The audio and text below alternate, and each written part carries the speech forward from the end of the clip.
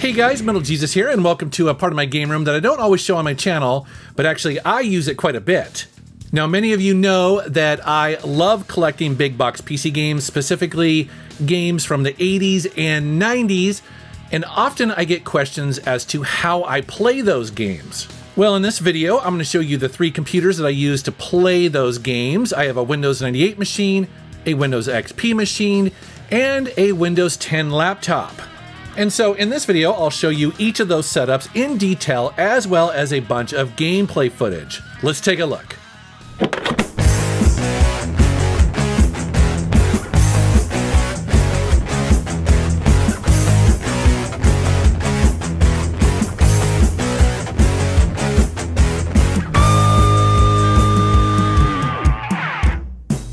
We're to go ahead and start with my Windows 98 machine. Now, if you've been watching my channel for a while, you know that I had this machine built to spec by a local Seattle company called RePC a couple years ago.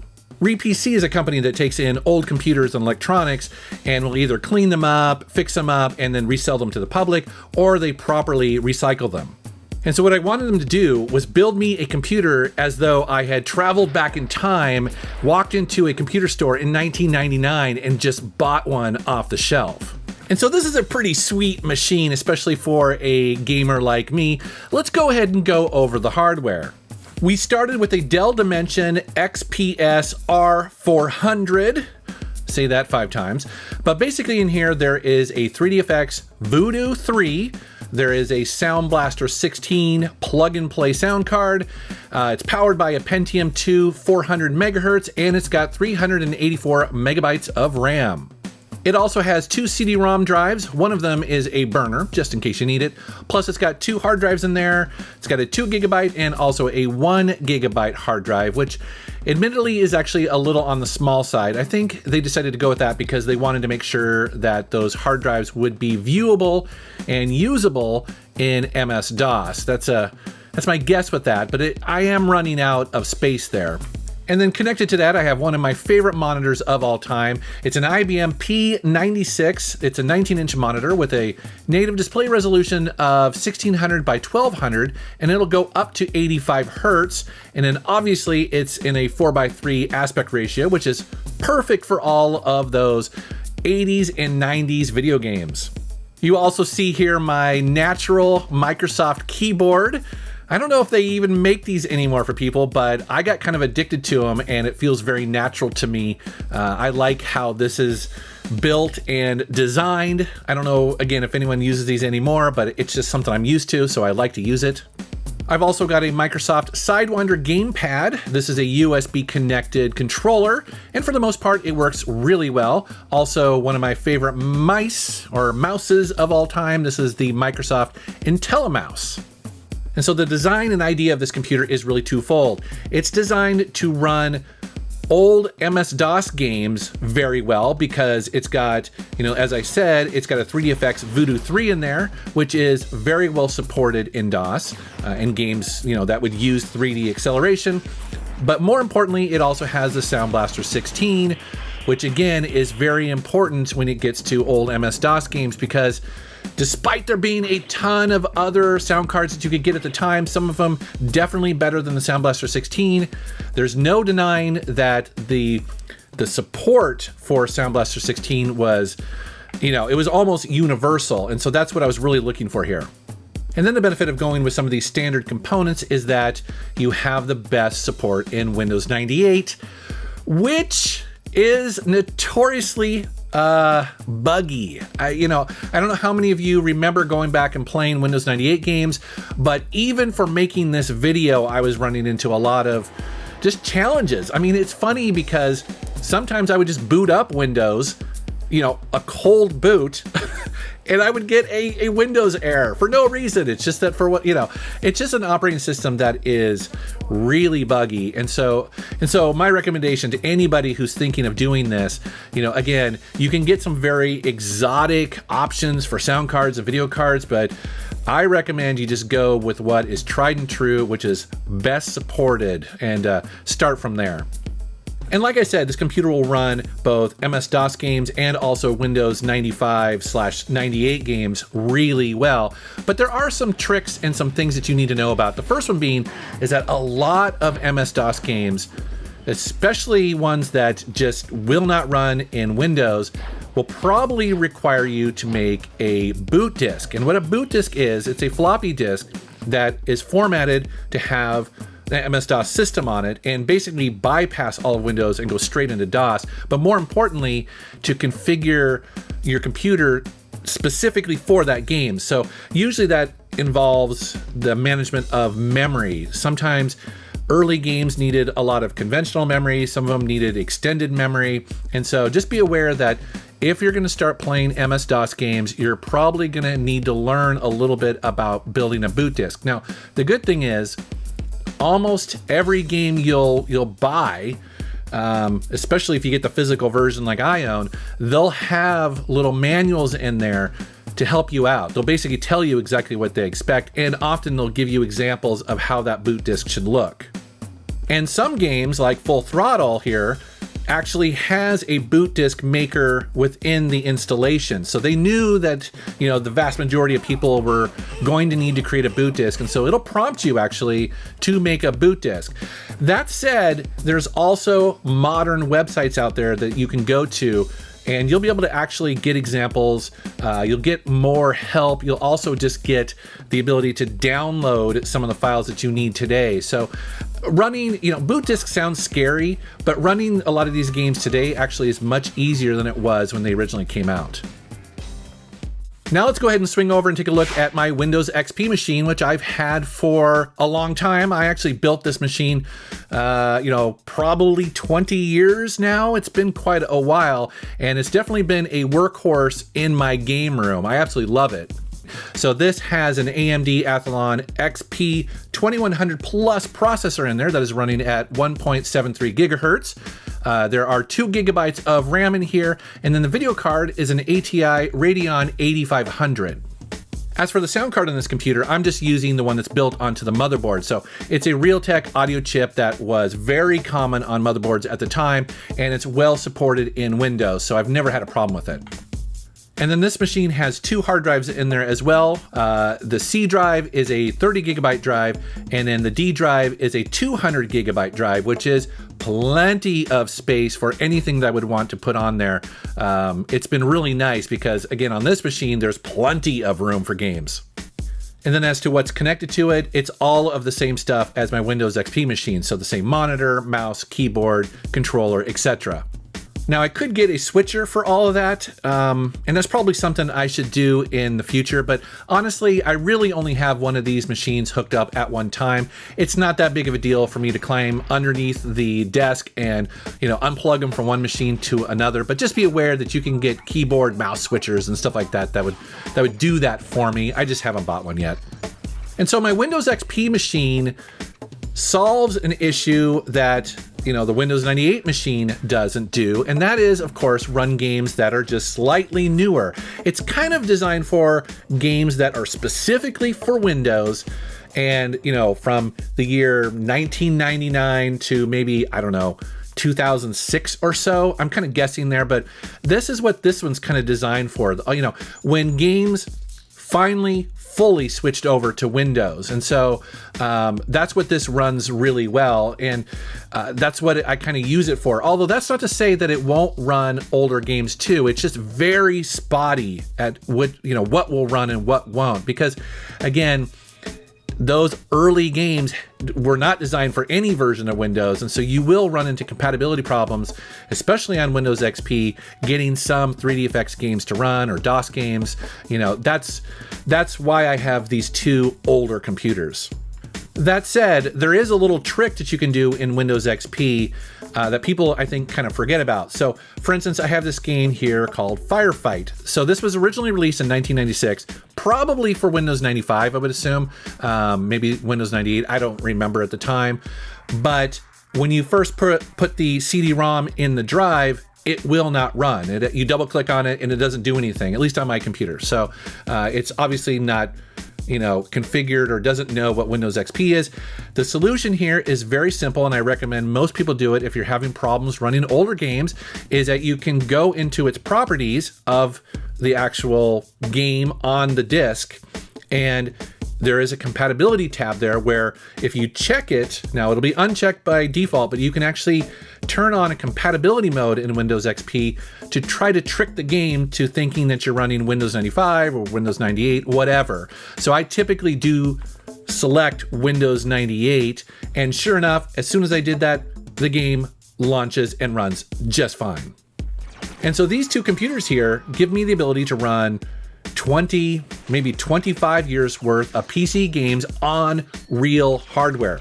Tens of thousands of games potentially you could run on these two machines as they were meant to be ran. It's pretty cool. Keep it in your pants, pal. And then the other gaming PC that I use as well is this newer Dell Inspiron 7586 laptop that runs Windows 10. And the hardware is pretty decent for a laptop that was released in 2019. Uh, it's an Intel i7 CPU running at 1.8 gigahertz, although I think it can boost up to three, perhaps. And then it's got 16 gigs of RAM. Um, and then it's got uh, about 475 gigabytes of hard drive storage. And there are two reasons why I bought this laptop. The first one being is that it's portable because a lot of people have asked me, you know, do you have a Windows gaming PC in the game room? And the answer is no, because I don't really want to have a big old tower with keyboards and mouse, all that stuff sitting there uh, I much prefer a portable solution like a laptop because I get the benefits primarily of both. I mean, obviously the power is not there, but the portability is. I like that I can sit it down, you know, on the coffee table, connect it to my modern television, and it just works really easily, and then I can quickly store it away. And so this laptop functions as my GOG machine. I do have Steam on here, but primarily because it is a laptop and, you know, laptops aren't super powerful, it is powerful enough to run games from GOG. Now, if you're not familiar with GOG, they are good old games, and what they do is they license, resurrect, repackage, re, you know, update old PC games to run on modern hardware. And uh, you see my library here. And it, it, what I love about GOG is that, again, they are keeping a lot of these games alive and making it really easy to run. So, yes, I you know, often have the original physical version of a game, and I obviously have the old hardware, but it is nice to also have something that I can just very quickly, you know, whip out and play on a 60 inch HD television as well.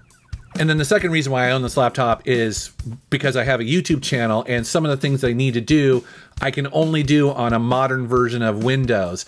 Um, specifically, a lot of game capture and stuff like that. If I'm having problems capturing on my Mac or something like that, it's nice to have a Windows machine that I can kind of go, is this a Mac problem or is this a Windows problem? And, and often I'm kind of bouncing back and forth. Also, some of the utilities that you'll get with, you know, some of these devices that are sold, like say a firmware update or something like that, they won't support Mac and you need a Windows machine to update the firmware or something like that. It's just, it's good to have that.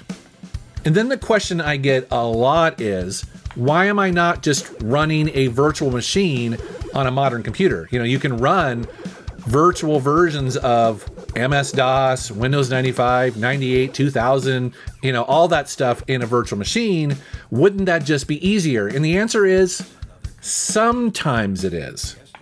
Now, it's been my experience with VMs, and admittedly, I haven't messed around with one probably in a couple years, but yeah, it's really impressive to run a virtual machine of Windows 98 and you know, many games will run on it, but I've also experienced that a lot of games won't, especially during that time period of 3D acceleration. You know, kind of the late 90s and early 2000s, the, the transition between 98 and Windows XP and all that.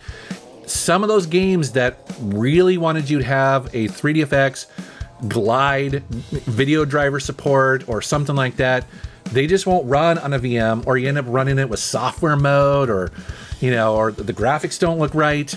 And so, yeah, that would probably work with a lot of games, and probably the more popular games are probably better supported because they would have more eyeballs on it, more work done. But, you know, Sometimes I want to play those kind of weird, obscure, hidden gems. And what I was finding, at least you know, several years ago, is that many of those didn't work in a VM. So, and also too, to be quite honest, I just really like having, you know, the real hardware. You know, it's cool to have the real hardware. I got the real games. It's cool to have the real hardware. So that is a quick look at the three computers that I use to run my old PC games, but I would love to know how you are running old PC games down in the comments below. I know many of you have old real hardware like I do. Some of you, you know, just enjoy the convenience of GOG and DOSBox, which is totally fine. Maybe you're running some VMs and you've got some some suggestions and tweaks for me. Let me know down in the comments below. And as always, I want to thank you for watching my channel. Thank you for subscribing and take care.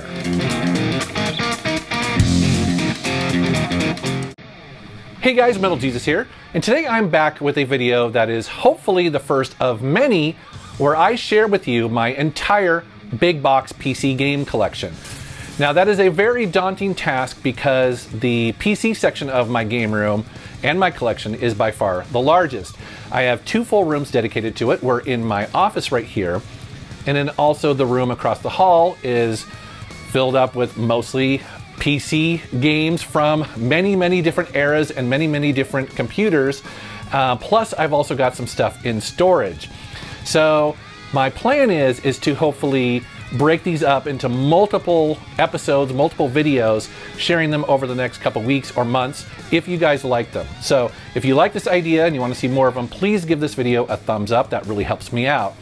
But for this video, I thought I would start in this corner right here and primarily focus on the 1990s. And so I'm not really sure how long this is going to take, and so I'm really going to probably cover this to maybe down here or so. We'll see how far we get, and then we can cover the rest in another video and over there and all that sort of stuff.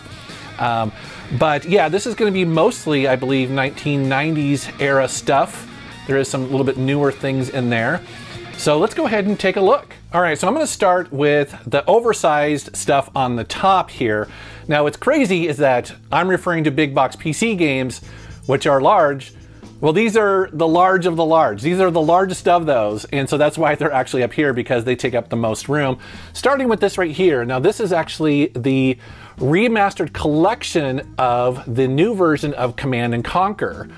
So that is actually, you know, the new version of Command & Conquer that came out digitally probably a year or two ago. I think I'm trying to remember when that was released. But Limited Run put out the physical version of that. And so, man, that version is awesome to have. It's great to see a digital game, a new digital game, get a physical version. Next to that, we have the Marathon Trilogy box set by Bungie. So I'm sure some of you know this, many of you may know this, but actually Bungie started off as a Mac game developer. And their, their big title at the time was Marathon, which, you know, no surprise, is a first person shooter. And this box is pretty cool because uh, it's a collection of, you know, the trilogy, plus there is an art book in there. And again, it's just a really cool piece of Bungie history. Next up is the Wing Commander 3 Heart of the Tiger. This, I forget what this is technically called, this version of but as you can see, the box is freaking massive. So, you know, when Wing Commander 3 was released, its big selling point was that it was going to be a Hollywood quality interactive movie. It even says that on the cover there. And so this was a celebration of that idea. So it actually comes in this big box, but inside there is a 35 millimeter film can package. Uh, there is a Wing Commander 3 t-shirt, which is actually pretty hard to find. It took it took me a long time to actually get that to complete that collection because most people who bought it probably wore the shirt. So it took a little while to get that to make it complete. This is another one of my favorite special editions right here. This is this is a new release, so this is Planescape Torment slash Icewind Dale, the enhanced versions. So this was originally made available through, I believe it's their Kickstarter or their Indiegogo campaign. But I guess it doesn't really matter. But you know, it was a crowd-funded version of it. Had to buy this because Planescape Torment is one of my all-time favorite RPGs. and this is just a fantastic version of it. Lots of little cool feelies in here, including a squishy version of Mort, the skeleton that follows you around and taunts you in the game. Uh, plus, it's got this Icewind Dale medallion. It's it's kind of cool and unusual that a collector's edition has two very different games in it. You know, they're both obviously very similar in style, but they were very different franchises back in the day, and so it's cool that that, that even exists, really. These are kind of an oddity. I'm not entirely sure what the deal is with these, but as you can see here, I've got these oversized versions of the Doom trilogy and also Duke Nukem 3D. So each one of these is a collection of the games released up to that point. The Duke Nukem one actually has a bunch of extra stuff in here, the Kill-A-Ton Collection. But they're in these massive oversized boxes, which I want to say was probably maybe sold at Costco's. It's kind of something that that would be very Costco-like to have a bunch of software bundled up like that in a large package because actually inside there it's mostly empty space, which is pretty weird. And kind of along those lines, you have the Half-Life Adrenaline Pack from Sierra. Um, this is again another one that is bundled together, although I don't think this was released to, I don't think this was actually made for Costco. I think this is probably just, you know, one of those versions where they bundled a bunch of stuff together. Cool thing is that that actually does have the, the full-size manuals, which is great. Here's another one that's newer, and this is one of my all-time favorite special editions. This is Doom Sigil. So this was John Romero going back and creating the proper follow-up to Doom 2. And man, this is absolutely amazing that they did this. It's signed, it's got a bunch of cool stuff in there. One of my all-time favorites. And then at the end here is something I've had off and on in my collection for the last couple years. Um, this is a sealed copy of Gabriel Knight, Sins of the Father. The reason why I have this up there is one, it's because it's obviously this kind of weird shaped box. They call it the origami box. Um, I was at Sierra when we released this. This was a very cool, weird box that was put out. Very collectible these days. This actually left Sierra when my buddy Josh left there. So it's technically Josh's game, and then sometimes he has it in his game collection, sometimes I have it in mine. But it's uh, just part of my history, and it's kind of cool to have. So. All right, down here is where I have some of my iconic and favorite first-person shooters. There's actually quite a bit of first-person shooting going on in the, the 90s, as you would you know expect. Starting off with a game that I couldn't believe I found this sealed, brand new, in a pawn shop. That, of course, is the shareware version of Duke Nukem 3D in just perfect condition. I was on vacation in this little small town over in Eastern Washington I went into a pawn shop and there it was like with a beam from heaven shining down on it and it was super cheap, probably been sitting there for decades, you know, and it was just waiting for me to pick it up. So that's a pretty cool thing in my collection. Uh, below that, we have System Shock. Actually, I should probably mention here, we have the original version of System Shock right here, as well as the new version put out and remastered by uh, Nightdive Studios. So System Shock at the time was an absolutely groundbreaking first person shooter slash adventure game. It really, it was a shooter, but it also played very much like an adventure game. The thing about it is, is that it, it was pretty, it was very early on at, you know, when first person shooters were being made. And so the controls are really weird today, very clunky. It's awesome that Nightdive Studio took it, remastered it, made it run on modern systems, and that's what that special edition is right there. As well as one of my all-time favorite first-person shooter games. I love this game. That, of course, is System Shock 2. Man, I mean, left such an amazing impact on me when I played this game. It's survival horror, it's a shooter, it's got an amazing story, it's got really creepy characters, a fantastic enemy that, that Shodan who, who taunts you the whole game. Oh man, such a brilliant game. Next to that, of course, you gotta have Quake 1 and 2. I remember playing Quake 1 and 2 when they were new and they were groundbreaking and you know they just have to be a part of every single game collection it's it's a requirement if you actually care about first person shooters as well as the original Wolfenstein. So here you see I have Wolfenstein 3D as well as the Spear of Destiny and I remember like yesterday seeing Wolfenstein 3D running on my friend's he probably had a 386 25 or something like that. But man, it was just so much fun, so amazing to see running for the first time. And then this box of Spear of Destiny is beautiful. I love the artwork on there. As well as this, I don't know what this is called. I guess it's like a shareware version of Wolfenstein 3D, but it comes with Blake Stone uh, Aliens of Gold. And I, I believe that technically Blake Stone is the first 3D first person shooter. I think that's true. Next to that, we have, again, one of my all time favorite shooters. That, of course, is the original Deus Ex. And so I have two of them here.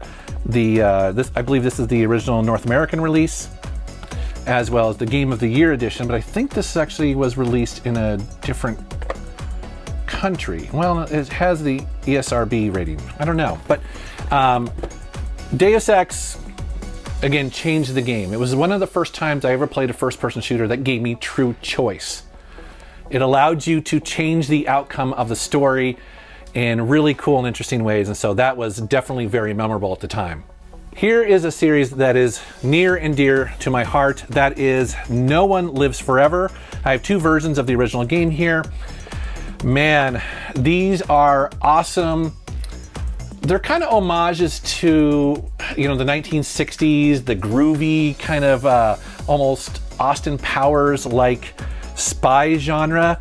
Fantastic games really like funny smart great graphics great gameplay. I'm bummed though i seem to have lost the second game because i really like the second game too. So uh, but i have two versions of no one lives forever. That is a series i would love to see make a comeback one of these days here is the original Halo. It's just really cool having a big box version of the original Halo. I don't know how common this is. I, you know, I always think of the Xbox version when, when I think of Halo, but uh, getting, yeah, getting the big box version is pretty cool.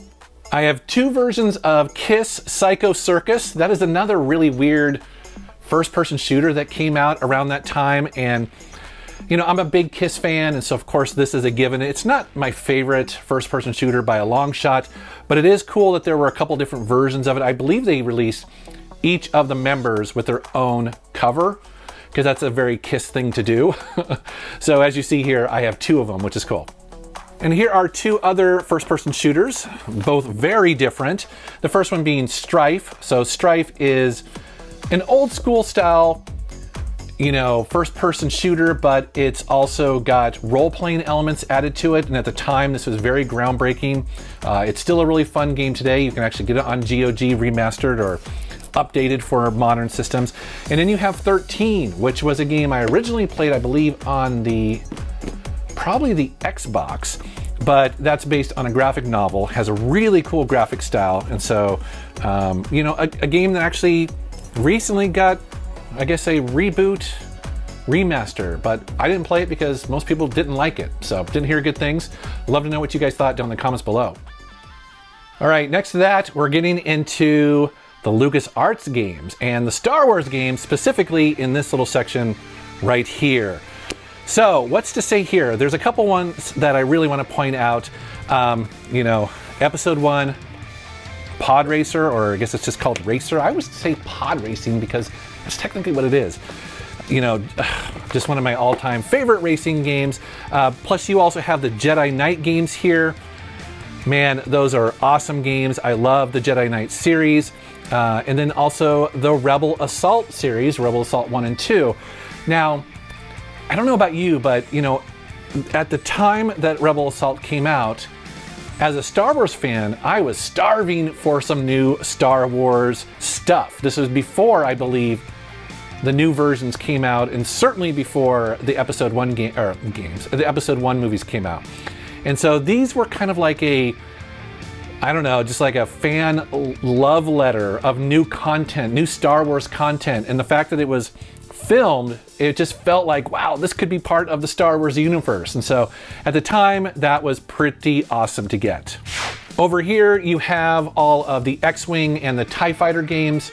Uh, I've mentioned before that TIE Fighter is probably one of my all-time favorite games. I haven't played it in a long time, but man, I was hooked on that series for a long time. I didn't really get into the X-Wing because I kind of like the bad guys. They got the cooler outfits, you know, and then the story was awesome, but uh, that's, I believe, most of them right there. Up above there, we have an adventure game that, when it came out, was making a lot of news. That is The Dig. So this is a LucasArts adventure game, but what was interesting about it is that it was made with, or in collaboration with, Steven Spielberg. Now you have to remember back then that games were still probably considered to be for children. You know, they weren't necessarily taken seriously as a true creative medium by a lot of people. And so to have Steven Spielberg go, you know what, I'm gonna help with a game and help create its story and its vision. And we got The Dig. Now, I like The Dig. It's got a pretty cool, trippy story, but it's not my favorite by a long shot. It's, in many ways, it's very obtuse. A lot of times you just don't know what the heck you're supposed to do. Some people love that. For me, I found it a little bit frustrating, but again, it's a, it's a cool part of gaming history. And then here's something that has become quite collectible over the last couple years. That is the LucasArts Archives. Now I have volume one right here. So this is very much like what they did up here where they basically would bundle in a bunch of games and you could just, as a consumer, you know, very quickly get fairly cheaply a bunch of really great LucasArts games. What's interesting though is that these have become somewhat collectible. Uh, I did not see that coming at all. So, not that that's necessarily a bad thing. It's just that, again, I was kind of surprised that, yeah, people who, I guess probably people who are going for a complete LucasArts collections, this is one of them that you want to get. And I think a lot of people probably didn't keep the packaging. They would just throw it away and keep the CDs, you know, next to their computer. Um, but yeah, so it's cool to have that in the collection. Next to that, I have three Indiana Jones games all published by LucasArts. I always kind of forget that there were so many Indiana Jones games that were released by them. And what was cool is that they each one pushed the technology a little bit further. You know, they started off as 2D, you know, traditional adventure games and then eventually worked up to full 3D almost like Lara Croft and Tomb Raider, which makes total sense because you can, you know, that's kind of what he does, right? He, he, he does the, the tomb raiding thing. And then next to that, oh man, I know I've mentioned it before, but Full Throttle is my all-time favorite adventure game. I know that's kind of blasphemy because it should be probably a Sierra game. No, it's this one. It's because it just has everything I love in it. It's got a awesome rock and roll soundtrack. It's got Ben, who's a badass. Uh, you've got motorcycles. It's a little bit in the future. It's kind of post-apocalyptic. It's funny. It's not too long. It's just, it's so awesome. Oh, and of course it stars Mark Hamill. Anything that has Mark Hamill, it's good. So yeah, this is really cool to have. Next to that, I have three, I guess the first three Monkey Island games. Um, so I have The Secret of Monkey Island, I have Monkey Island 2, LeChuck's Revenge, and Curse of Monkey Island. Next to that is another one that is a great adventure game that I think a lot of people are finally catching on. That, of course, is Grim Fandango another game that is wickedly funny, and it got actually remaster. So I replayed that on I think the Xbox 360. I also have it on the iPad. I think I've also got it on like on the Vita or something like that. Uh, and then next to that is Maniac Mansion Day of the Tentacle. I don't have the original Maniac Mansion. Actually, I, am missing quite a few other LucasArts games. Oh yeah, and I have Sam and Max Hit the Road many old school LucasArts games are actually fairly collectible these days. And specifically, you know, the original Maniac Mansion, Loom is another one that can basically get hundreds of dollars if it's in perfect condition. So there's definitely a lot that I could add to this, but for the most part, those are, you know, the LucasArts games that I really loved and played a ton in the 1990s. Over here is my Wing Commander slash space arcade sim section of it. Now I'm not going to spend a ton of time on the Wing Commander series because I actually did a full video talking about the entire collection in here. Um, and the Wing Commander series, there's a lot there's a lot to that. You've got the original games, you've got expansion packs, um, you know, you've got spin-offs and stuff like that. Uh, I started collecting, actually this is given to me by a friend, so there's even the Wing Commander books. Uh, the only thing really to point out of here that maybe I haven't talked a lot about is the Privateer series. So the Privateer games were basically based on Wing Commander, but they allowed you to play it however you wanted to. So you could be a pirate, uh, you could be a trader, you could be good, you could be bad. That was really fun about those games. Uh, another game in here, it's not related to Wing Commander in any way, but it is a space game. And it's probably inspired by Wing Commander, but I want to point out that is Tachyon the Fringe by Novalogic, so not even the same publisher, but um, it reminds me very much of the Wing Commander series. The main character kind of looks like the main character from the Wing Commander series, but what's awesome about it is that it's got Bruce Campbell in the in this game and any game with Bruce Campbell is automatically bumped up a couple points in my book because I love that dude. He's so funny. All right, moving on. Another LucasArts game that just didn't have room to put up there. But man, is it awesome. And I think a lot of people are finally catching on to this. That, of course, is Outlaws. Very early, not necessarily the technically best looking first person shooter, but at the time it was one of the first first person shooters to be based in a Western. And so that was a pretty cool uh, you know, feature about this. It made it really stand out. I don't think it necessarily sold very well, but a lot of people like me today look back on this game very fondly. Next to that is a game I absolutely love. Did not get a, a, whole lot of love when it came out, unfortunately. That is Shogo Mobile Armor Division. And essentially, this game is, man, it's all sorts of awesome. So, it's a first person shooter, but what's cool about it is that you are both as a pilot on foot, but then you'll go into these big mechs. And so, the scale of the game changes all the time. Uh, plus, it's just wickedly funny, it's hilarious. Uh, just, man, I mean, you want to talk about a hidden gem. This is it. I, if talk to people who have played this game, they'll all tell you it is criminally, you know, overlooked for sure. Above that, we have a sealed version of Shadow Warrior. This is the shareware version here. Um, I forget where I got this. I, I don't remember, but uh, again, the shareware versions are cool because for a lot of people, this is the version that they played back in the day. Uh, below that, we have John Romero's Daikatana, sealed as well. So yeah, that's pretty funny. I didn't play this game a lot. I have it on GOG. It's one of those games where I, I am intending to go back and play. I know it I think it underperformed in sales when it was first released. That's the kind of feeling I get. But anyways, uh, below that we have two Blood games. Actually, one of them is a, I guess it's basically an expansion pack for Blood, and then the other one is the sequel, Blood 2, The Chosen. So Blood is a first-person shooter, survival horror kind of, very gory. Um, I don't have the original Blood big box version because that is another game that's also very collectible, very sought after. I've lost many eBay attempts to get that game. Um, it's just one of those that's kind of hard to get. Now, when you're talking first person shooters, you got to have some Doom in there. I have a couple Doom I have a couple Dooms in here. So um, I have Doom 2 for the Macintosh for some reason. I don't know why. Uh, the original CD-ROM of Doom.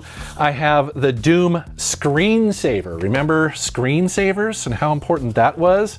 But yeah, I have the Doom one. And then I've got a, a copy of Final Doom.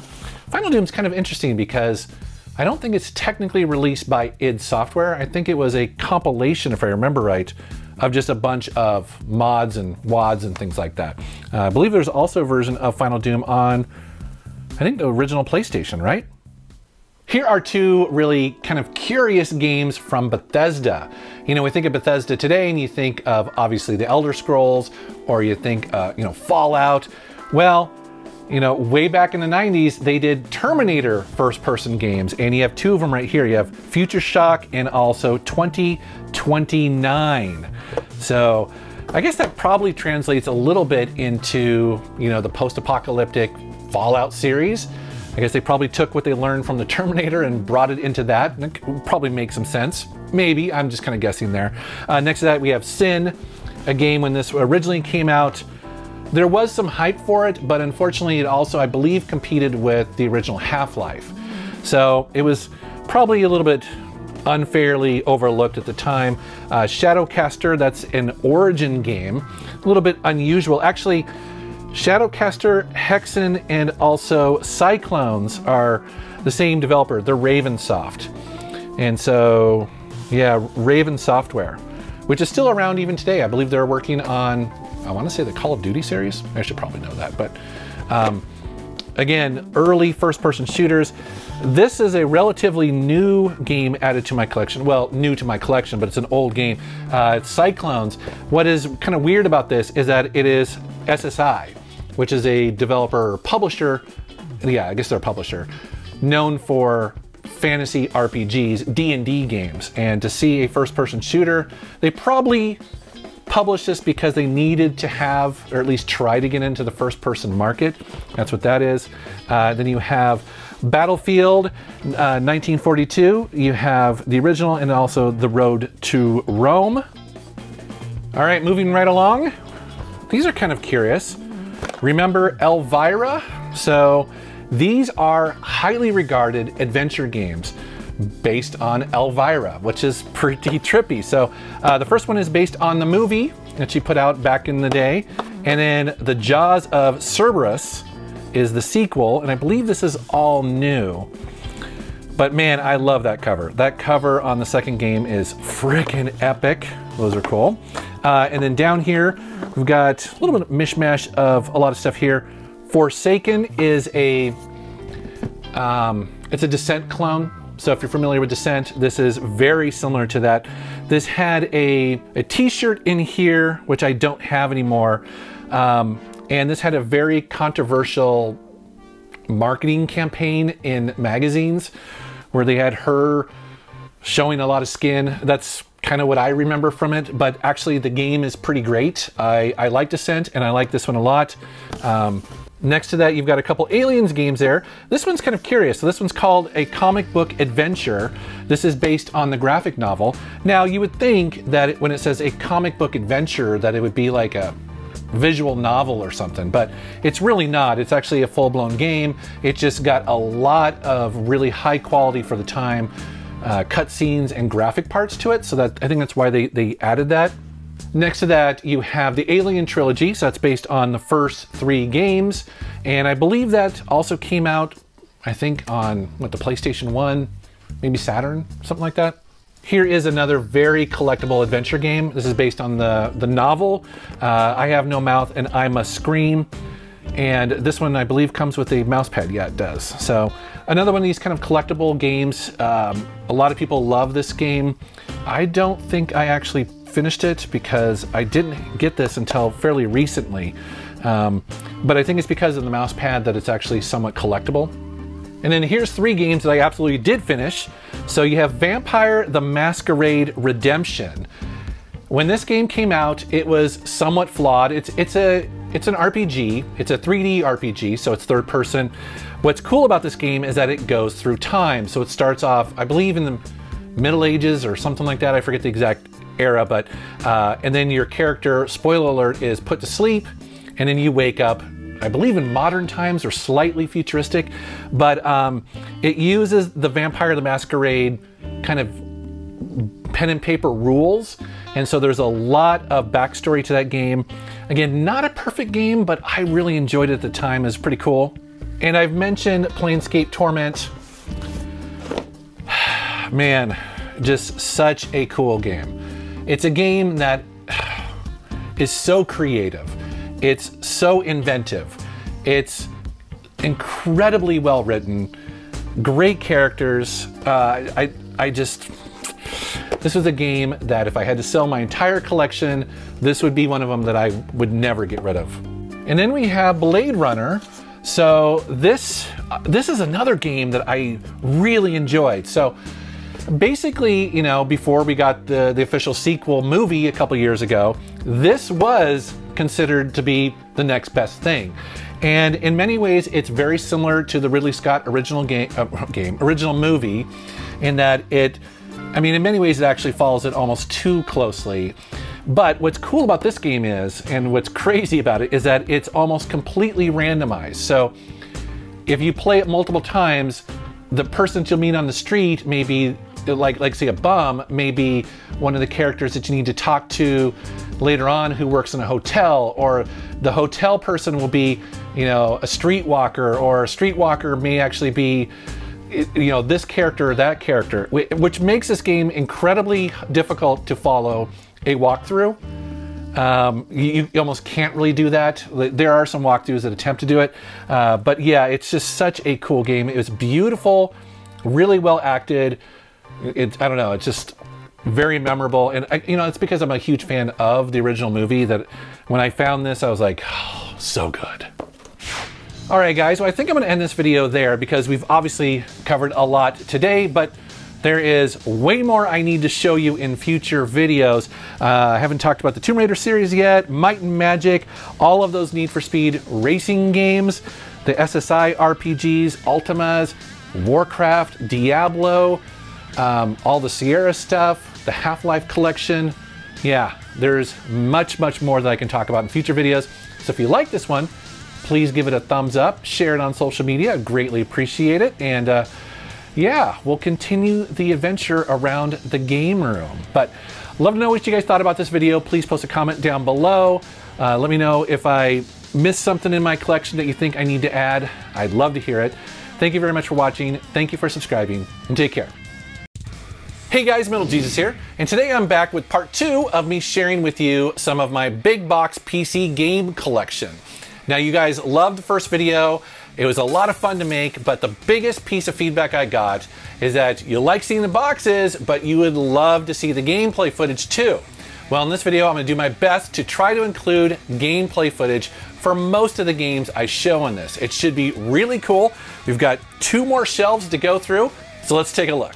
So we're gonna get started here with the original Tomb Raider games, and I have I believe the first five of them here. So you have the original Tomb Raider, now notice that it is in a trapezoid box. And this was something that Eidos did when, when Tomb Raider came out, I guess to probably make it stand out on shelves. This is something that was very common in the PC gaming market at the time. There was no standard of box sizes or even shapes, and this is something that Eidos did for several years. And I remember getting the first Tomb Raider. I played it on PC originally just in software mode. But then I got a rendition 3D accelerated card and this game blew me away. I love the original Tomb Raider. And then you have Tomb Raider Gold here, which is basically the original game with four additional levels. Tomb Raider 2 is kind of where I, I, I played Tomb Raider 2 to the end and I enjoyed it, but this is at the point where I was starting to get a little bit burned out on the series. But it continues on in Tomb Raider 3 as well as Tomb Raider uh, The Last Revelation. Tomb Raider Chronicles, I never touched that game. I think at this point, even the developers were probably getting burned out on creating Tomb Raider games. But I have these in my collection because I like the trapezoid box style. and it was so cool that Eidos did this at the time. And they had a bunch of them. And even uh, Legacy of Kain Soul Reaver came out on a beautiful trapezoid box. Now, I think most people probably probably played, you know, Legacy of Kain Soul Reaver on the PlayStation, but uh, you know they also put it out on PC, which is cool. Continuing on over here, you have more trapezoid boxes, including Joint Strike Fighter.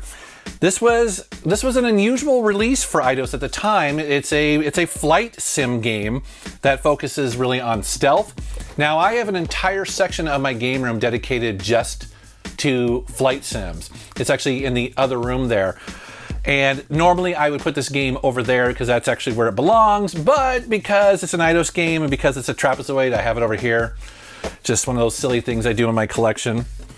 Moving on, you have two master masterpiece games. I love these games so much. You have Thief 1 and 2. Oh man, you know, I know I say it all the time, but I really, really like stealth games. And the reason why I like stealth games is because of the original Thief and the second game. They are just everything I love about their first person.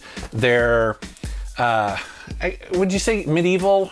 uh, Victorian, something like that. But basically, you know, I, I like the era that this exists in. It fits into that stealth uh, gameplay really well. These are very smart games. I like how there's a little bit of fantasy in it as well. There's a little bit of the supernatural.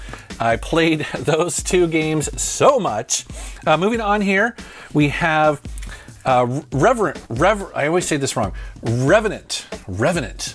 Wasn't there a a movie called Revenant, right? I think so. So this is a game that came out and I I don't think it was necessarily that popular at the time.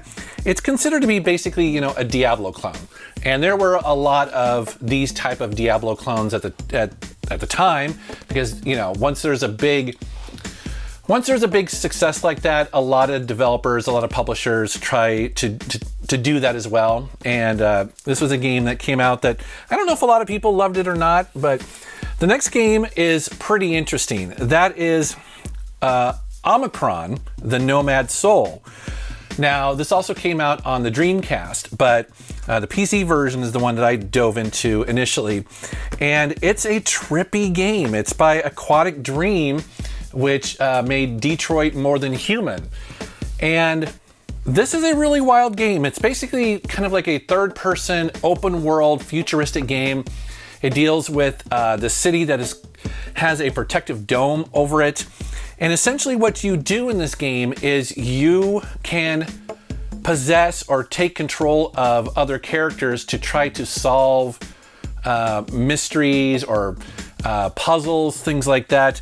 Uh, another thing that's kind of interesting about this game is that it has multiple play styles. So for instance, if I remember it right, it actually has like first person shooting elements to it, and then it has fighting elements to it, like third person you know, fighting mechanics. So, uh, plus it's it's got an original soundtrack by David Bowie, which at the time you see here, if you open up this flap, you see David Bowie right there. That was a pretty cool little feature of it. So definitely kind of an unusual game. Next to that, you have another game that's a little bit unusual. It's called Urban Chaos. And if I remember right, this also came out, I think on the PlayStation 2, I forget. But uh, anyways, this is another game where it's a third person action game, but it takes place in an urban environment. And so it kind of feels almost like Grand Theft Auto a little bit. So kind of a kind of a cool game. Again, I don't know if it did very well, but uh, it's a trapezoid game, so I had to have in my collection. Here's another game that I don't think did very well either. That is Conquest Earth.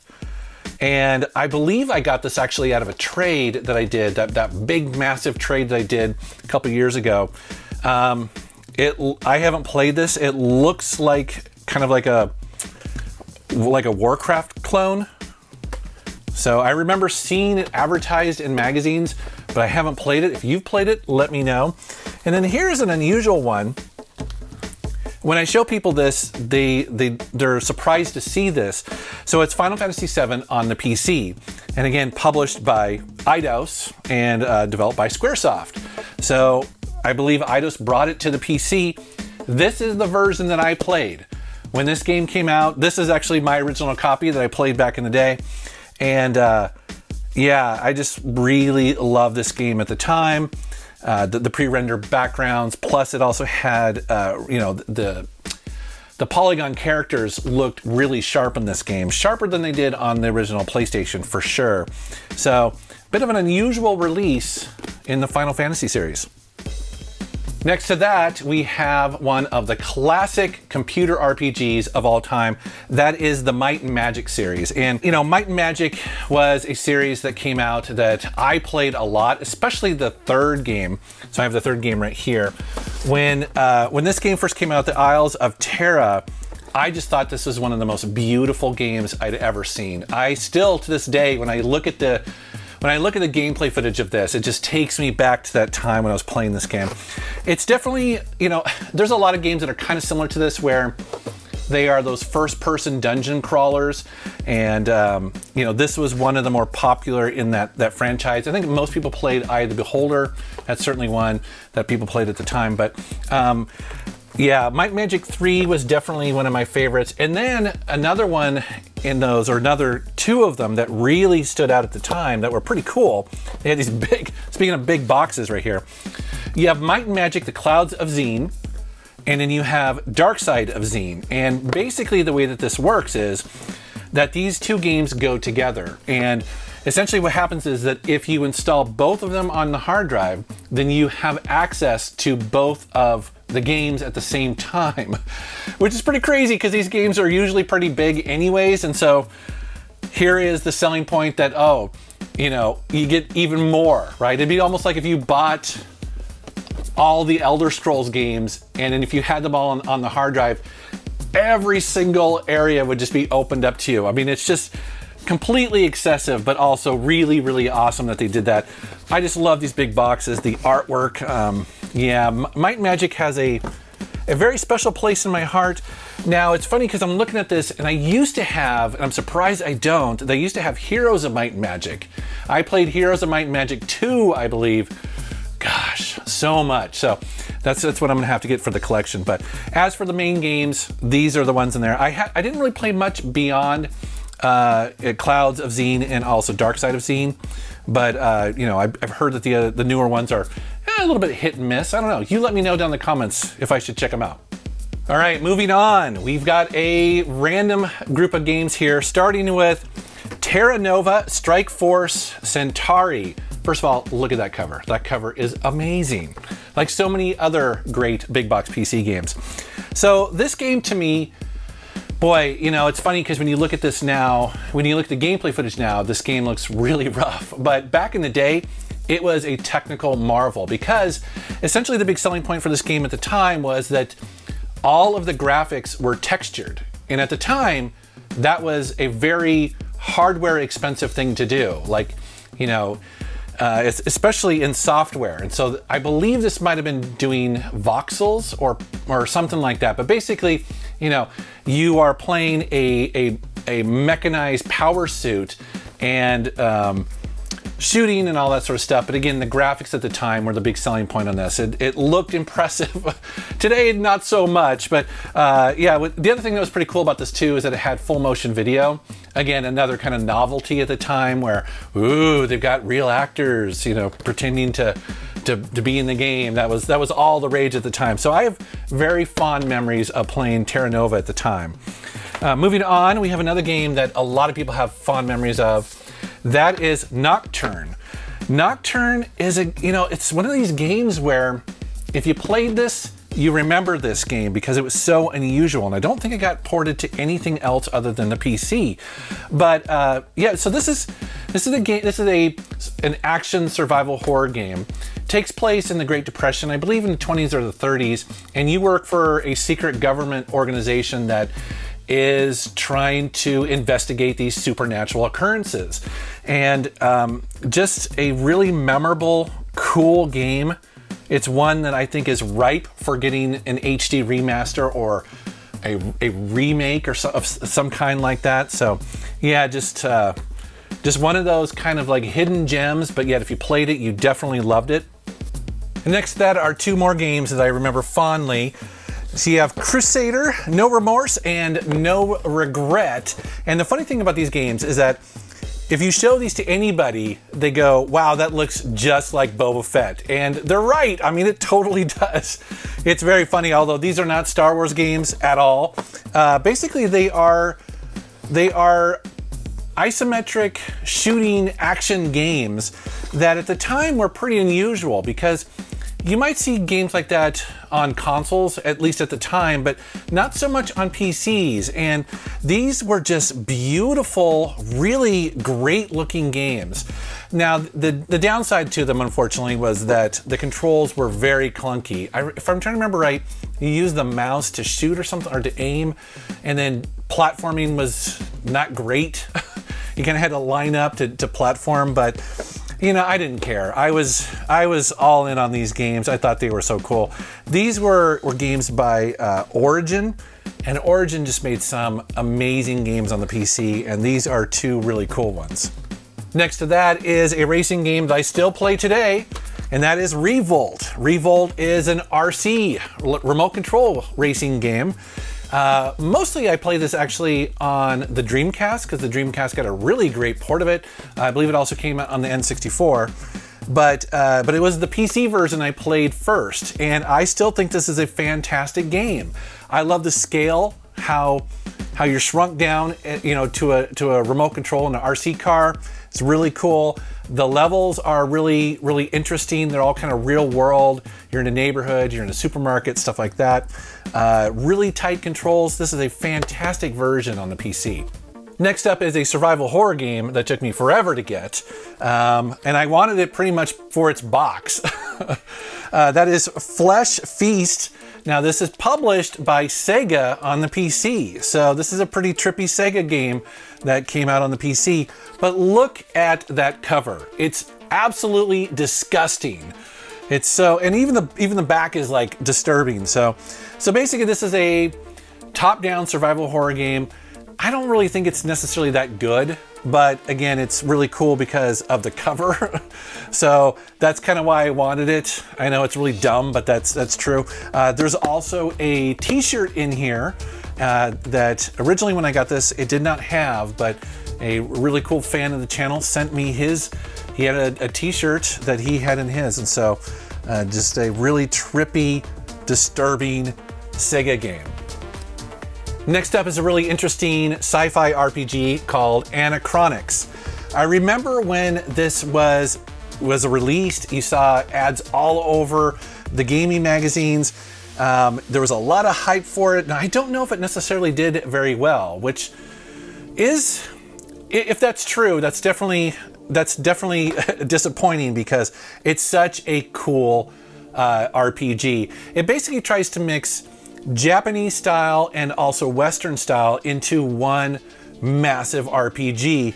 And for the most part, actually, it succeeds really well. Also, this game is known for being very quirky, very funny, um, just lots of personable characters and dialogue. Uh, plus, it's also got a really cool combat system. So just a really interesting release for, oh yeah, so, so Ion Storm made it, but it was published by Eidos. Huh, that's cool. So yeah, definitely a gem in my collection. Moving on, I'm gonna be curious to hear how many of you remember a game called Z? Now, back in the day, correct me if I'm wrong, but I remember when this first came out and really it was compared big time to uh, Warcraft 2. And in many ways, a lot of people would kind of have a little bit of a back and forth as to which one was better. Now you gotta keep in mind, this was what, 1996, I think? But at the time, Z was a pretty cool real-time strategy game, and it went up against Warcraft 2. That's a, uh, obviously Warcraft 2 is way more popular, but still, I, I have a, a soft spot for this game right here. Next up is a game I'm sure many of you played on the PlayStation, that is G-Police. And this is the PC version, obviously, but I think most people played it on, on the PlayStation. But for me, it was all about the 3D acceleration in this game.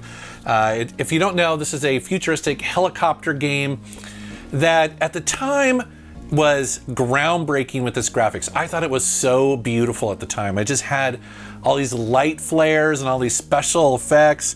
It was a it was a showcase for the uh, the 3D acceleration doesn't really hold up that much today.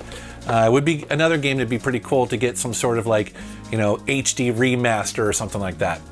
Next up is a game that is featured a lot on my channel, and that, of course, is Interstate 76. This is a car combat game that takes place in an alternate future where there's a gas crisis, and uh, you play, I believe, is the, the, the Groove Champion, who is a uh, vigilante and you're cruising around doing car combat. Had a really cool graphic style. Um, man, I just love this game so much. I, I bought Interstate 82, the sequel, but didn't really get into it as much for some reason. The, the, the original will always be one of my all-time favorites. Next up is a really interesting release called Shattered Steel. Now, the reason why this is kind of interesting is because it is a BioWare game. Yes, the same developer that made Baldur's Gate as well as Mass Effect and all those games. But way back in the day, they made a mech game, which is so interesting. Now, for some reason, I have this sealed, which is really, I must have gotten this more recently. But um, yeah, you know, I have this in my collection because, again, it's kind of a weird BioWare release. Next up is a really interesting adventure game called Spycraft The Great Game by Activision. Now, when this first came out, it was very different than everything else that was out at the time because it's an adventure game, but it uses full motion video and it takes place kind of in the real world. So it deals with real espionage, real spy stuff. Uh, you play as a CIA operative, and essentially they worked with real people who had knowledge of spy stuff in the US to come up with the scenarios that this game deals with. So um, you you're trying to solve puzzles, you're trying to figure out maybe what's going on in this deeper conspiracy. Um, it deals with assassinations. Um, it's just all kind of doomsday, cloak and dagger stuff. Very cool game. Uh, I don't know if a lot of people remember it, but I certainly do. I thought it was a really cool game at the time. Next up is another kind of unusual Final Fantasy release. This is Final Fantasy VIII on the PC, not by Eidos, so this was released by Squaresoft. And I got this one way after it was originally released.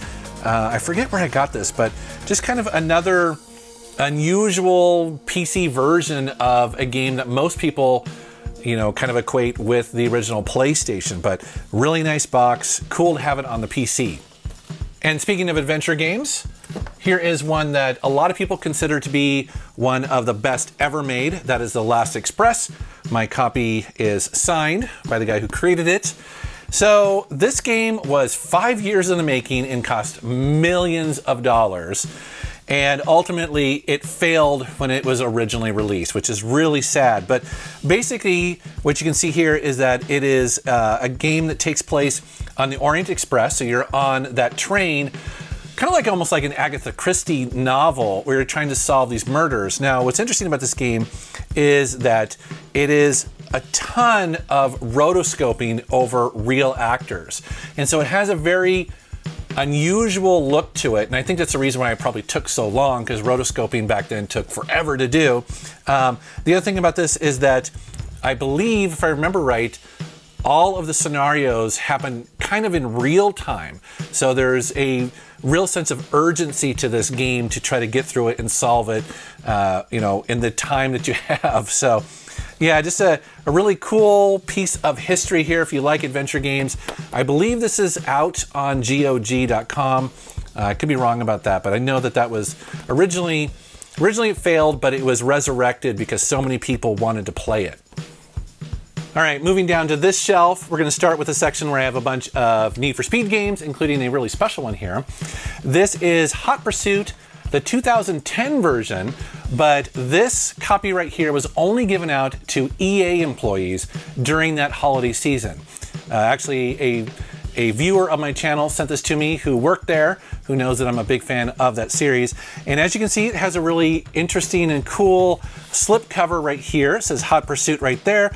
Uh, EA Crew Edition 2010. You open it up and there's a nice message right there. It says Happy Holidays you pull the disc out or the, the, the, DVD cover here and you see that it says on the spine EA Crew Edition 2010 has its own unique cover.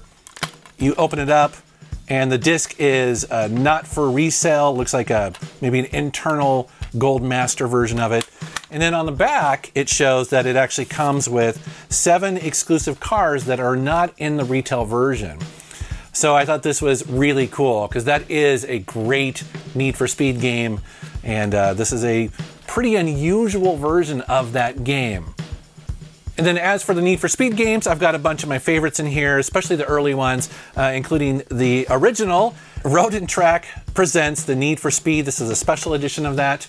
That's the very first version I ever played of that. And then I have two versions of the second game.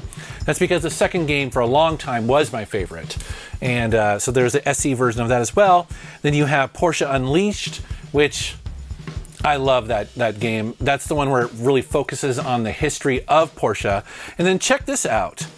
This is called Motor City Online. Now, this was almost called a Need for Speed game, but they decided to change the name at the last minute.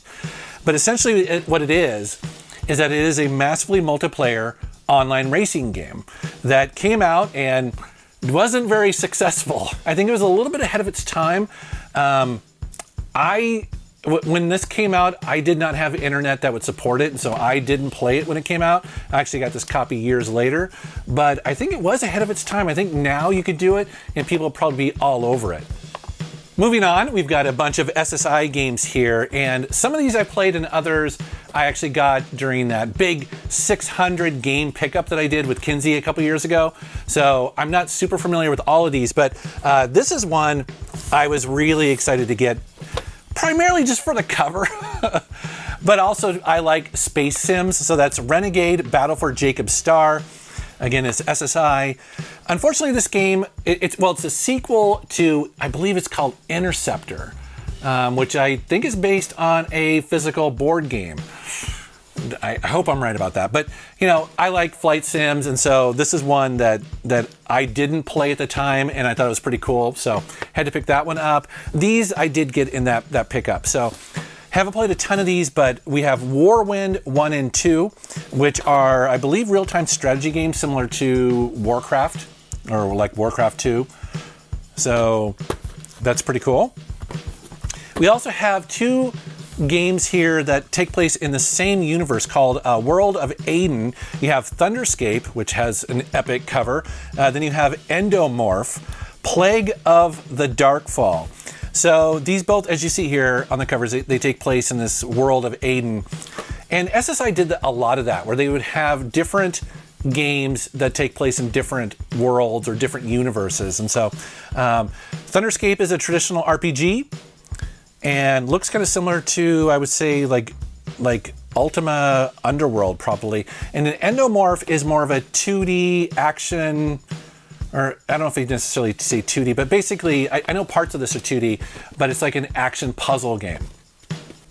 Next up is a game I never thought we'd actually see. I was surprised to see it when it was announced, and that is Tron 2.0. Because back in like, I think 2003 when this was announced, we didn't have a sequel to the original 1980s movie. So to see a Tron video game come out so much later, like years, decades later, I was like blown away because I love the original movie. And this is actually a pretty cool first person shooter. So, I mean, it basically uses a lot of those Tron look and feel, but throws you into the first person mode and it's unlike anything I've ever played. If you like the original movie, if you if you dig that kind of style, you definitely have to check this game out. It also came on on Xbox. That's where I originally played it. Um, but just a very unique and unusual first-person shooter. We got a couple RPGs here, including The Summoning, put out by SSI. Another classic RPG back on the computers back in the day. This is definitely an old game, but one that is much loved. And then here's another one that's newer that a lot of people really love too. That is uh, Septerra Core Legacy of the Creator. And I believe this box here actually might be a European box. It looks a little bit different than, huh, I forget where I got this. But anyway, so uh, Core is a Western made RPG, but made to be kind of in that Japanese style, the JRP style. Um, so all the characters and things like that have that sort of anime look to it. Uh, the, the premise of this game is really cool because you are on this world that has these floating continents. And so there's like layers to it. And in the center of it is a computer and there's all these sci-fi tropes and stuff like that. Definitely a very unique game. I think you can get this on uh, GOG.com. And then here's a game that a lot of people to this day still consider to be one of the greatest games ever made. That is Star Control 2. So this is a space exploration game where it's just a massive universe, massive galaxy to explore, but it's got combat, it's got RPG, it's got uh, like I said, it's just it's just everything poured into one game. Uh, love love that cover.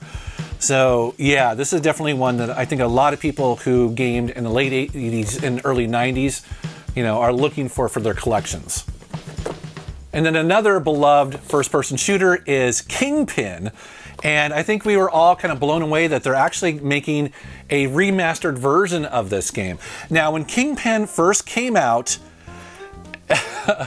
it was so violent and so adult that it kind of blew people away. It was like it was one of those it was one of those games almost like you know like Grand Theft Auto where people are like whoa games can be that violent or have that much swearing in it. Uh, definitely over the top, but really good game. Very difficult game too. This game will kick your butt. And then next up is one of my all-time favorite arcade racing games, especially from the era, that is Speedbusters. And Speedbusters is, you know, it it looks and plays like your typical arcade racing game from the time, but at, you know it used 3D acceleration. It used a 3D FX card. Looked beautiful. There is a version of this on uh, the Dreamcast called Speed Devils, which is also very good. But I originally played Speedbusters. That's how I know it. But uh, even today, I still go back and play this game every once in a while, just because it's it's fun. It's it's got great cars, great controls. I know all the tracks really well, so uh, it's a classic. And then I have two games that I kind of put together, and you'll see why. It's because one of them is Stunts by Broderbund, and the other one is Stunt Driver by Spectrum Holobyte. So I played Stunts way, way more. I loved this game at the time. I played it so much. I mean, just just I don't know at the time there was there was definitely a movement of making these kind of stunt like games even though the computers could barely run them in my opinion but they were still really fun. Uh, plus you could create your own tracks and things like that. And then uh, Stunt Driver I don't know if I've ever played this game but it looks very similar to Stunts. But uh, it says on the on the cover there that supports the AdLib sound card so just shows you just how old these games are but yeah, like I said, I have a soft spot for the original stunts. And then here's a game that was considered very technically advanced for the time. That is Realms of the Haunting. Uh, this is by Interplay. And this is basically a first-person 3D adventure slash survival horror game that just really pushed the boundaries of what these games could do at the time. Had full 3D environments, which, you know, obviously look really dated today, but at the time it was really pushing you know, pushing the hardware, plus it had full 640 by 480 visuals. So it had SVGA mode, uh, plus it also had, if I remember right, uh, full motion video. So those are a lot of the things, you know, plus sound and voices and things like that. Just these kind of multimedia experiences, games that push those were, were very groundbreaking for the time and were really exciting. And this is definitely one of them. And then moving on to the last section, at least for this video, we have Return to Castle Wolfenstein. This is in a metal tin, which I believe is a little bit collectible. I'm not sure about that, but uh, inside of here you have a little patch, which is pretty cool. You also have a little poster and manual as well as the disc, but I guess the, uh, the metal tin version, again, is somewhat collectible and a little bit unique. And then check out these releases. So if you watch my videos on going to Japan, they're gonna look kind of familiar. These are a bunch of PC Windows versions, actually Windows XP specifically versions of the Ys series. And these are all sealed and we got these in Japan. Actually, Tony did. So uh, he bought these, you can see them right here, for 100 yen or basically $1 a piece, sealed. So he, he found these, bought these, and then uh, I think he just gave them to me just because he doesn't collect big box PC games. But, uh, you know, these are all in Japanese. I don't even know if they have English on them, but they're just so cool and unusual that they had to be part of the collection. And then here's a game that my roommate at the time played a lot. I remember him playing this quite a bit. Protostar War on the Frontier. I remember it primarily because of this awesome cover. This publisher always had the best game covers. Although, if I remember right, we had a hard time getting this to work because it really required a lot of conventional memory and we struggled to get it to work on this computer. But um, basically this game's very similar to like Star Control, that kind of, that kind of game, kind of space exploration type game. And then finally, another RPG that a lot of people love, that is Nox. I actually have a poster on my wall up there of the lady right there. Nox is another one of those games that came out at the time that I don't know if it was as successful as they had hoped, but it was definitely a really high quality game. I think the problem with this game is that, you know, it got compared to uh, Diablo 2. A lot of people put out Diablo-like clones. Some of them were better than others, and Nox is definitely considered to be one of the better ones that came out. Uh, great graphics, great controls, uh, really cool story. So just one of those games that kind of time is forgotten, although it wouldn't surprise me if it's not on GOG.com. I should probably check that. So anyways, guys, that's part two, looking at my big box PC game collection, but there is much more to show if you guys want me to. Uh, down here, we have the Jagged Alliance series, Ultimas, Wizardry, we have some more Origin games, uh, we got Blizzard, more SSI games, Sierra, it just goes on and on and on, and that's just this room. So if you like this video, please give it a thumbs up. Uh, as always, guys, I want to thank you for watching my channel. Thank you for subscribing, and take care. Hey guys, I am the Metal Jesus, and today I'm very excited to talk about one of the most influential RPG series of all time, and that is the classic SSI Gold Box series of RPGs that were released back in the late 80s to early 90s. For a lot of people like me, it's what got me into RPGs. This was groundbreaking for the time, and the entire series is pretty amazing, especially if you are a big box PC collector like myself. We look at these and we just get nostalgic. We get all misty eyed. But more than that, it really covered a lot of ground. It broke a lot of rules.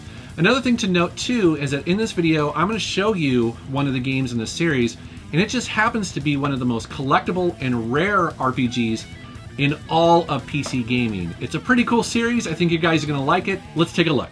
Now, before we get into the collecting aspect of it, let's talk about the games themselves and why they're so fondly remembered. First up, this is not a watered down hack and slash game, but a full blown stat driven advanced Dungeons and Dragon RPG experience on your computer.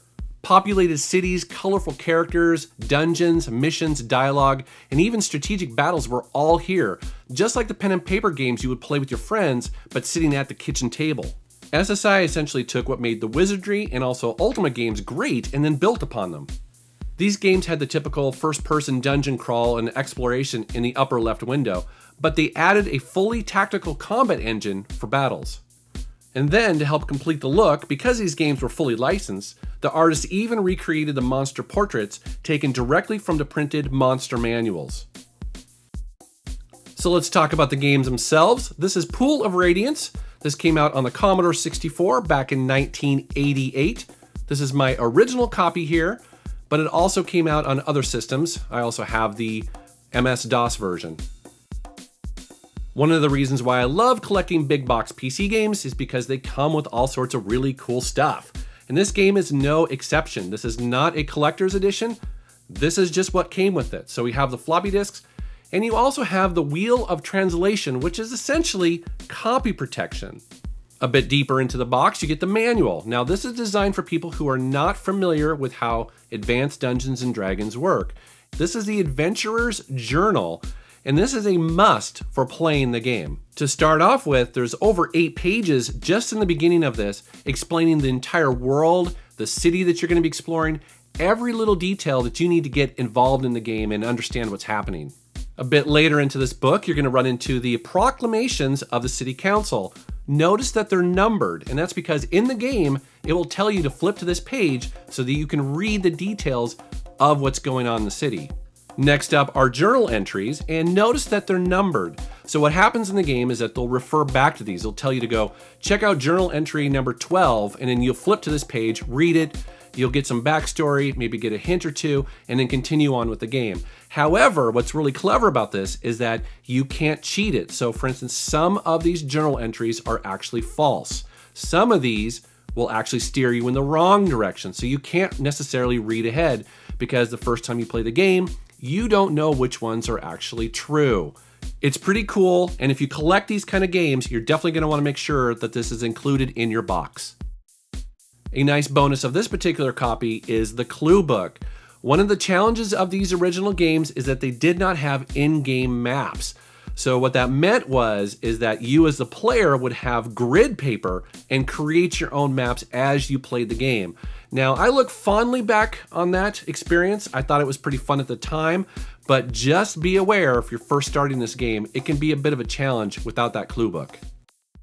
The second game in the series is called Curse of the Azure Bonds, and it was released in 1989. Some of the highlights for this game include the ability to bring over your previous party. That's pretty awesome. Also, this game raised the level caps, it added side quests, and also it improved some of the interface.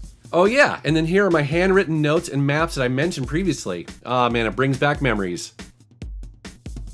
Here is the third game in the series called Secret of the Silver Blades, released in 1990.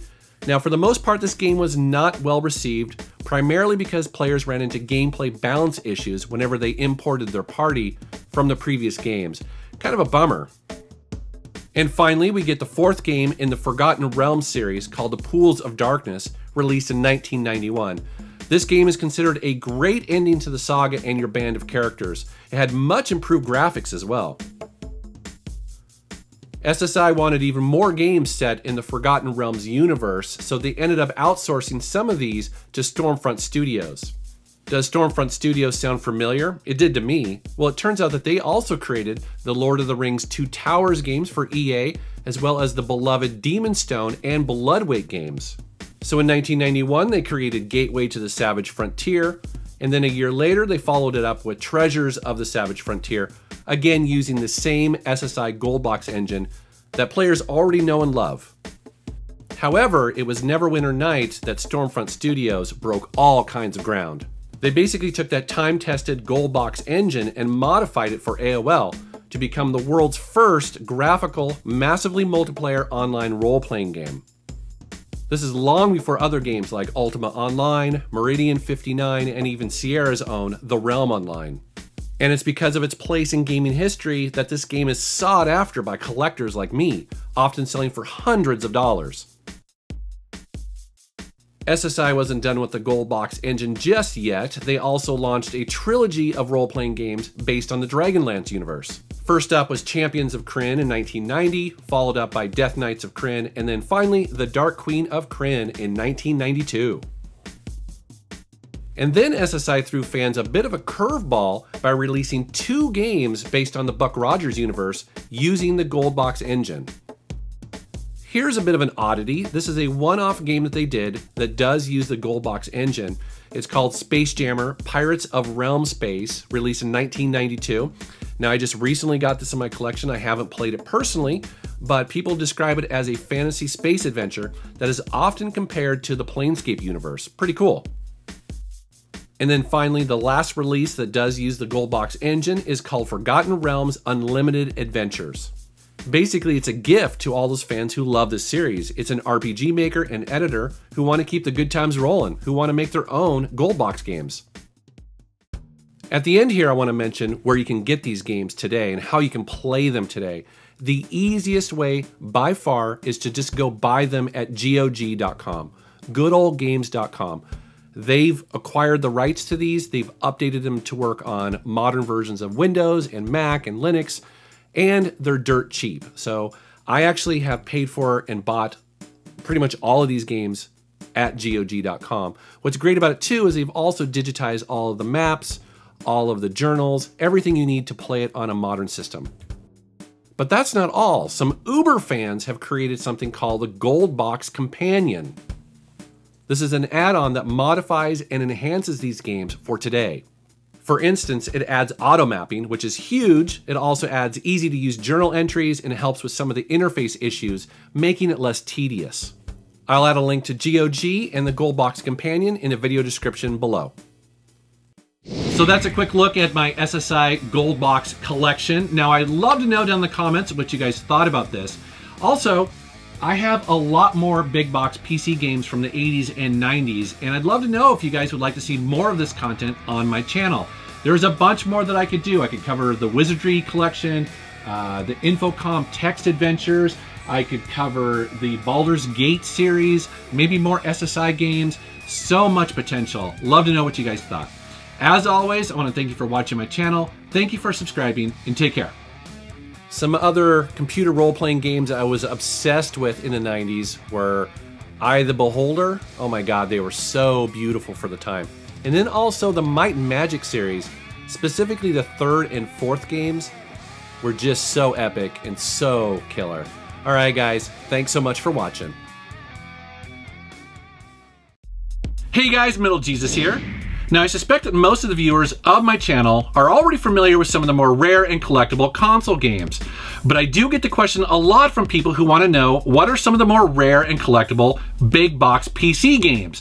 In this video, I'm going to show you a bunch of them, tell you what makes them kind of special and rare and also hard to find, and I think it's going to really surprise you. Let's take a look.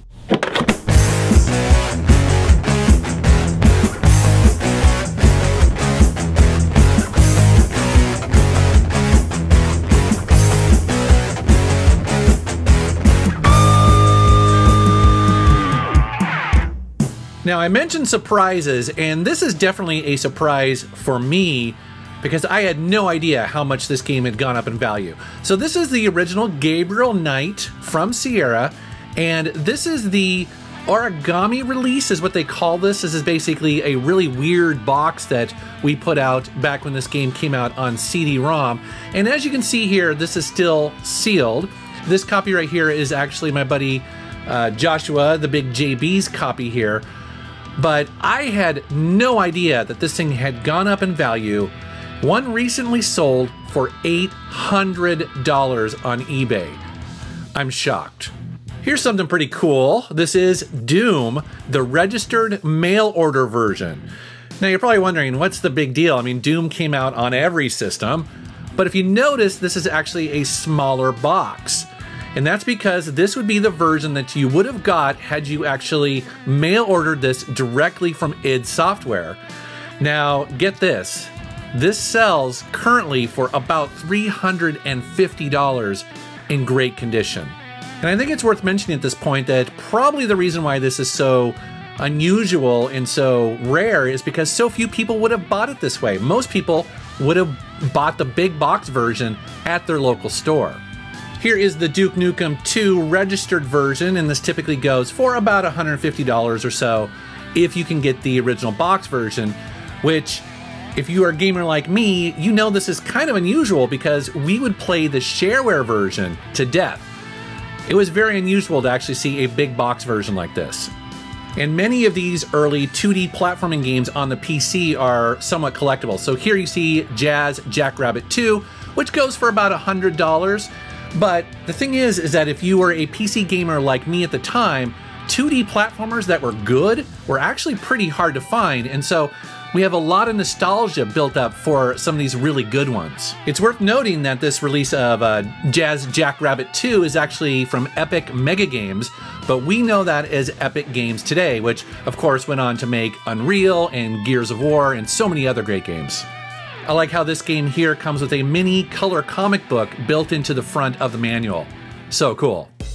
Here's something you don't see every day. Now, obviously some of you are familiar with Infocom, they made great text adventures, but this game here is special, specifically this release. So this of course is suspended, but it's the mask box. And as you can see here, why it would be called that, because it has this really weird plastic 3D mask in there. And uh, it's very uncommon to find it in such good condition like this. That mask over time gets brittle and will break. As you can see, this one is obviously in very good condition. And typically these go for about $150 or so. Speaking of the Infocom games, their most popular series of games are, of course, the Zork games. Now, here is the Zork trilogy, and this is interesting because this is one of the more collectible Infocom games out there, which is kind of unusual because the Zork games would have sold very well. But this trilogy has something really cool. It has all the, the feelies or extras you would expect, but in here is a very special metal coin and I believe it only came in this version of it. And it's made of metal, it's very heavy, and technically it's the currency that you use in these games. So a lot of people are looking for this particular version of the game, especially if you're a Zork fan. The bummer is that there are counterfeits out there. People make counterfeits of this thing, so you have to kind of be careful. It's just really hard to find original complete copies of this game, but if you do, well, it's gonna cost you $200 or more. This is the version of Ultima 1 that a lot of us remember playing back in the day. That cover is absolutely a classic. However, not many people realize that this is actually a remake of the 1981 original that was sold in baggies. If you're lucky enough to find one of those baggy versions from 1981, well, those things go for $2,000 or more. They're extremely hard to find. This version right here is definitely a little bit more reasonable. It'll cost you about 200 bucks or so, depending on the version. The PC version tends to, you know, command the most amount of money. I just like the fact that it comes with these coins and normally, at least in later releases of Ultima, they would have a cloth map. This one actually has the map broken out into regions on cards. Very cool. Do you remember way back when EA was a well respected game publisher full of all sorts of creative ideas? And at that time, they put out these really cool, thin album cover style games. Do you remember those? I certainly do. And one RPG that came out on that format that is well remembered, especially on the Apple II, is the original Wasteland. Wasteland is now considered a classic RPG, and it's an early example of a role playing game with a persistent world. Now, it also is the inspiration for the later Fallout games. What's interesting from a collecting standpoint is that they radically changed the packaging when they brought it over to the PC. This obviously looks much more like every other PC release at the time. And it's hard to say which one is actually more collectible. Me personally, I like the original Apple II version, but both will cost you about 100 to say 120 bucks, depending on what box you prefer. You can't talk about big box PC collecting without at least mentioning some of the amazing releases that LucasArts slash Lucasfilm games made back then, because so many of them are beloved. And here's something you don't see every day. This is the Day of the Tentacle. This is, of course, the Triangle box. Very hard to find, highly sought after, and this is going to set you back, well, it's going to hurt, but it's going to cost you about $300 or more. And some gamers may not realize that Lucasfilm's very first adventure game is Labyrinth, based on the movie. And so collectors going for a complete collection, well, they're going to drop about $150 for this. Here's an adventure game that most of us are familiar with. This, of course, is The Secret of Monkey Island, However, you may not realize that there are multiple versions of this. This one right here you see is the 16 color version. This is the very first release of this game, and therefore it's actually harder to find than the 256 color version that came out later. I like how these games are packed full of stuff, including the Adventurer newspaper, and here is Dial a Pirate, which was used for the copy protection. If you want the original 16 color version, well, it's gonna cost you anywhere from $150 to $200. Maniac Mansion is another adventure game that a lot of gamers like me grew up with, loved it, and now we want to put it into our collection. But because they're getting a little bit hard to find, especially complete, eh, they're getting pricey. Now, this one's not crazy. This was, you know, going to cost you about 100 to $150 with all the stuff in there. I do want to mention though that there are times when gamers like me, collectors like me, we don't even really care if the floppy disks work. I know that's what I think because you know, I can get the game somewhere else. I can go to GOG.com or maybe get it off Steam or get it in a more modern compilation. But it's all this extra stuff here, all this really cool copy protection, the maps, the the merchandising, the catalogs. That's the stuff that you're paying for. That original stuff that came with these games. Continuing on with the classic Lucasfilm slash LucasArts adventure games, of course you have Zak McKracken and the Alien Mindbenders another game that a lot of people would like to own. And depending on the version, this might cost you anywhere from like a $120 to up to 200 Loom is another Lucas game that can take a long time to find, especially if you want a complete copy. What's cool about this release is that buried at the bottom of the box, underneath all the floppies and the hint books and manuals and stuff, is a cassette. And this is actually kind of like a radio play. It can be tough to get a complete copy of this game with that cassette because I think most people at the time took that cassette and put it with their other cassettes, you know, next to their stereo and forgot to put it back in the box. So getting it complete is going to cost you about a $100 or so. Here is the version of the Prince of Persia that I remember. This is called the Trapezoid release. And as you can see, the, the cardboard bottom pulls out there and you can get access to the manual and the floppies, stuff like that. And here's a second game in the series. It has a similar style, but of course it's reversed. But the original version was released in 1989 on the Apple II and imported to other platforms. I'm showing the Tandy version right here. The original game is going to cost anywhere from $70 to $120 depending on the version. Here's a series of RPGs that many of us are very familiar with. That is, of course, the Elder Scrolls series. And the first game is Arena. Now, this game goes for about $150 to $200 depending on the condition. I think Daggerfall is a little bit more easy to find these days, but it still can set you back about 100 bucks to 150. I absolutely love that foil cover right there, the way the light plays upon it. So sexy. And then there are two offshoot games that can be relatively hard to find, although they're not super expensive. The first one is Redguard, and then the second one is Battlespire. Now, Battlespire is really interesting because that's technically a survival horror style game. And both of those can cost about a hundred bucks or so if they're open, obviously more if they're sealed. Ultima 7 The Black Gate is a relatively easy game to find, not super collectible, but what is collectible are the two expansion packs. You can pay anywhere from $120 to $200 a piece for these expansion packs because they're relatively hard to find now in good condition. Here's something I first heard about from Chris Kohler, and that is the original version of King's Quest. This was released on the IBM PC Junior, and notice it's a clamshell release. It looks like business software. And frankly, the reason why it does look like business software is because Sierra made a deal with IBM to develop the game and showcase the computer, but it ultimately flopped. If you can find a copy of this with a keyboard overlay, it'll set you back about $150. Many modern gamers got introduced to the Fallout series in the third game, but many retro gamers like me look fondly back to the original first two. And because of that reason, they're somewhat sought after. So depending on how complete they are in the condition, well, you can pay anywhere from, say, $150 to maybe $200, and definitely more if they're sealed. What's interesting though is that Fallout Tactics doesn't exactly command a high price, even though I think getting the big box version like this is way more difficult than the previous two. And I think it's simply because the game is not as, you know, well regarded. People aren't quite as nostalgic for it. Here's another Sierra game that I had no idea was so sought after and so collectible these days. This, of course, is Quest for Glory 4 Shadows of Darkness. This is nicknamed the Purple Box.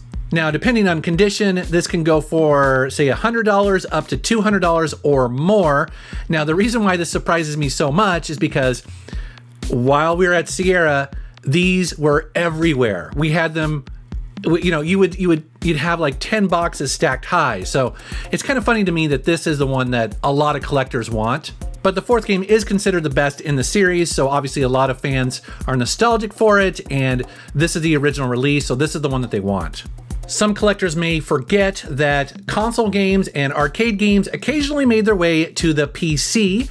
You see Super C here, which of course is a Contra game, and it is very collectible on PC, as well as the original Metal Gear, also on PC. People don't realize this, and what's funny is that both of these versions are considered to be pretty much terrible but they are some of the more rare and difficult Contra and Metal Gear games to find. So if you're going for a complete collection, you can spend anywhere from 200 to $300 depending on the condition and whether it's sealed or not. So that's a quick look at some of the more rare and collectible big box PC games, but I do need to do a huge shout out to Kevin Ing, who's a collector here in the Seattle area. Most of these games are actually his. His collection is epic. I'm so jealous. And he helped me out greatly with this video. As a matter of fact, if you are looking for help, if you go out to a thrift store or a pawn shop, or, and you find something that you don't know what it is, or maybe you just want to learn more about this type of collecting, he's an admin and part of an amazing Facebook group called the Big Box PC Game Collecting Group. I'll put a link down in the video description below. If you're remotely interested in learning about big box PC games, some of the more special titles to look out for, I highly recommend that you join it. It's, it's amazing. Also, I'd love to know what you thought about this video because we have just touched the tip of the iceberg when it comes to big box PC game collecting because literally there are tens of thousands of them. And while I think we covered more kind of known titles in this video, we can go really obscure really rare and uh, it'd be fun to do that. So let me know in the comments below if you like this video and would like to see more. All right guys, thank you very much for watching. Thank you for subscribing and take care. At the end here, I do want to bring something up, and that is occasionally people accuse me of trying to raise the prices of video games. And that is absolutely not my intention with a video like this. It really isn't. I mean, I'm not a reseller myself.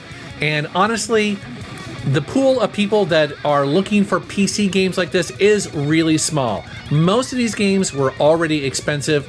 My goal with this is simply just to educate and also celebrate how cool and collectible these games are. All right, guys, have a great, great day.